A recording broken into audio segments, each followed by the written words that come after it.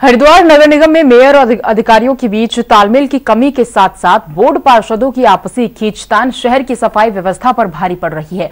और यही वजह है कि हर साल होने वाले स्वच्छता सर्वेक्षण में नगर निगम हरिद्वार इकतालीसवें पायदान नीचे पहुँच गया है। 2022 में देश भर में स्वच्छता के मामले में दो नंबर पर रहने वाला हरिद्वार इस बार दो नंबर पर पहुँच गया है। नगर निगम के नेता प्रतिपक्ष सुनील अग्रवाल ने मेयर अनीता शर्मा पर मनमानी करने का आरोप लगाया है। सुनीता अग्र, सुनील अग्रवाल का ये कहना है कि मेयर कांग्रेस की है लेकिन बोर्ड बीजेपी का है। मेयर का काम करने की इच्छा शक्ति ना के बराबर है। उधर मेयर अनीता शर्मा का कहना है कि साल की शुरुआत में निगम के पास संसाधनों की कमी थी लेकिन अब कूड़ा उठाने के लिए तीन कंपनियाँ काम कर रही हैं। अब डोर टू डोर कूड़ा उठाया जा रहा है।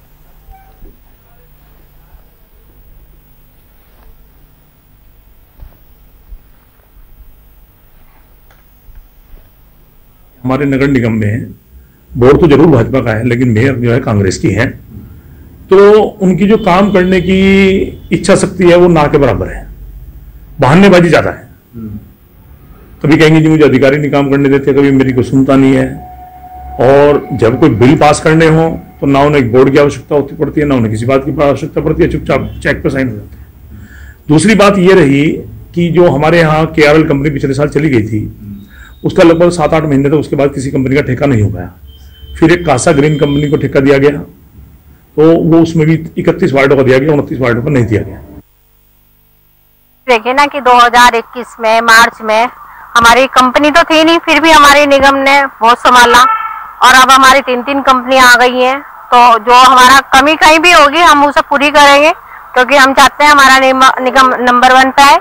तो मैं ये चाहूँगी कि जहाँ भी अब तो डोर टू डोर कूड़ा भी उठ रहा है, हर जगह आप देख ही रहे होंगे कूड़े की कोई व्यवस्था ऐसी नहीं है कि जहाँ सड़ रहा हो कूड़ा।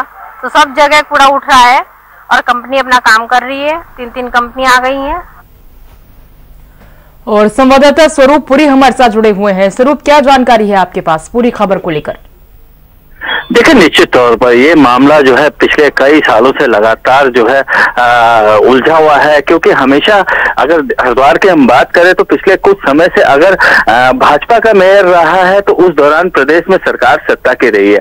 वर्तमान की बात करें तो वर्तमान में जो है कांग्रेस की मेयर है तो सरकार जो है भाजपा की है।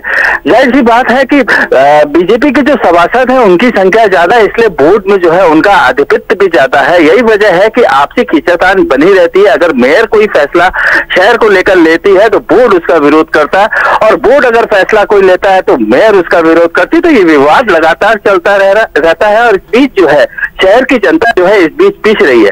शहर के हालातों की बात करें तो वर्तमान में जो है, हालाँकि कूड़ा उठाने का कार्य हो रहा है, मगर जिस हिसाब से उस दिन पूर्व के जो हालात थे, वो काफ़ी विकट थे। यही वजह है कि अब जो सूचकांक में जो हरिद्वार का स्थान है, वो काफ़ी नीचे आ चुका है। इसी को लेकर जो है, अब विवाद लगातार बढ़ता रह रहा है और इस सब की ज़िम्मेदारी जो है, दोनों और चाहे अगर मेयर पक्ष हो या फिर बोर्ड पक्ष हो, वो दोनों एक दूसरे पर लगा रहे हैं, मगर जो हालात हैं, वो विकट हैं। जी।